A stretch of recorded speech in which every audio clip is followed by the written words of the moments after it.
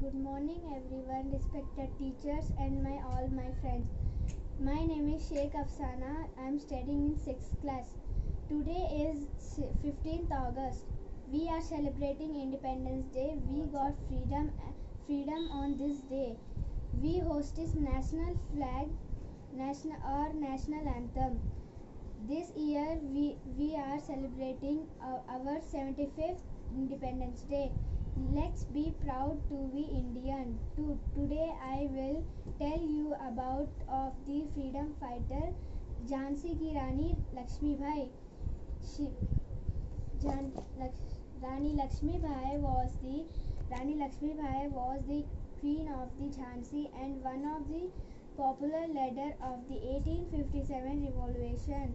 She was a true freedom fighter who fought wars with the Britishers.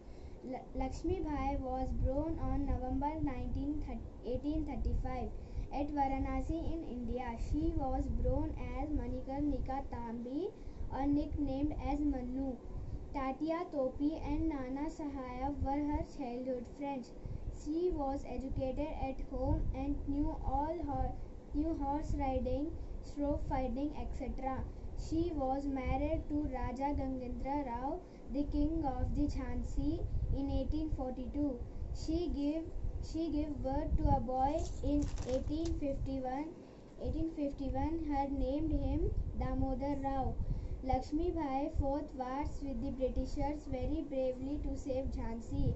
Rani Lakshmi Bai died on 18 June 1858 while fighting a wars with a wars of revolt against the Britishers.